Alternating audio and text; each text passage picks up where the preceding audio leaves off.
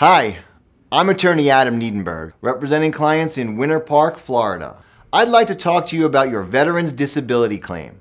Our firm has represented thousands of disabled veterans, and over the years, we have seen some of the pain that disabled veterans experience when fighting for their entitled disability claims. If you have a service connected disability that the VA has denied, or think that you deserve a higher rating, call the number on your screen for a free consultation. I'm attorney Adam Neidenberg, and I look forward to helping you.